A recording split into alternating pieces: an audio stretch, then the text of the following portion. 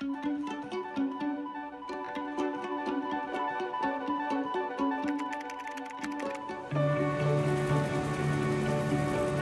the people out there wondering what this is all about,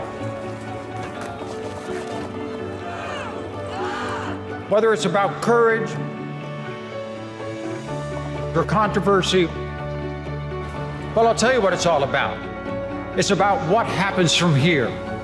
Thank you and good night. Live, fight like hell. It's not just about one person. It's about thousands of people.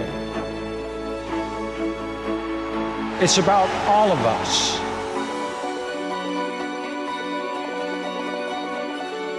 Accepting one another.